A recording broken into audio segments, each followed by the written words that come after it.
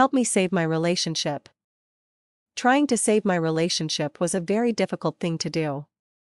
I was always worried that I was going to make one wrong move and I was going to lose the person I loved forever when I was trying to save my relationship. Unfortunately, when I was trying to save my relationship, what always felt like the right thing to do was the wrong thing to do most of the time.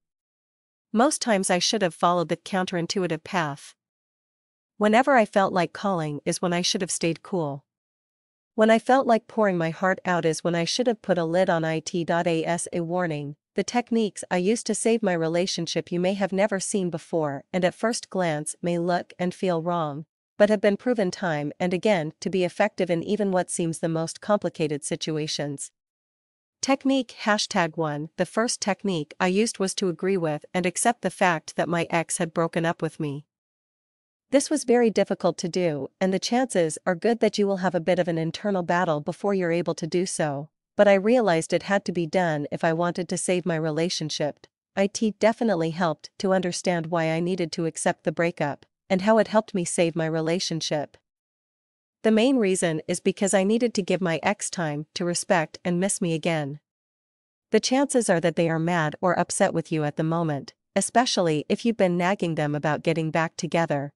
Technique hashtag 2 The second technique I used was to cut off all communication. You're probably about ready to close your browser right now. Hold on, because this technique really does work. It helped me to accept the breakup and it showed my ex that I was serious. By not communicating, I allowed my ex time to miss me and time to get over the reasons for breaking up with me. This space was good for my mental health as well, and it helped me to think clearly. It also set me up for the next technique. Technique hashtag 3 The next step was to plan an event where we could reconnect. Because of the previous step, my ex was starting to miss me. It wasn't a date, so to speak, but more of just a casual meeting so we could talk and see how each other was doing. I didn't smother or pester my ex, I just took it slow. This was a big step in helping me save my relationship.